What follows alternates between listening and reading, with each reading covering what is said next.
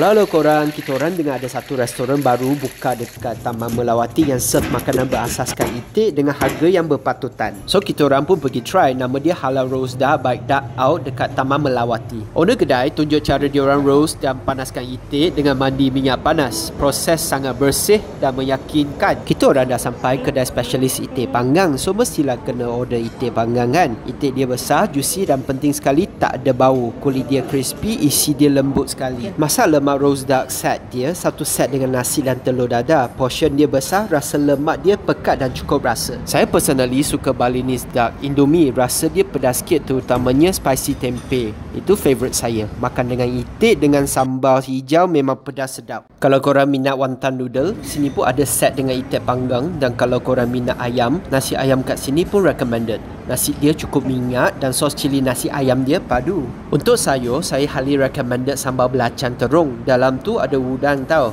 Memang puas hati makan. Tempat makan di sini luas dan selesa sesuai datang seorang atau grup. Kat sini siap ada surau lagi. Dah datang sini, where's je halal roast duck by duck out.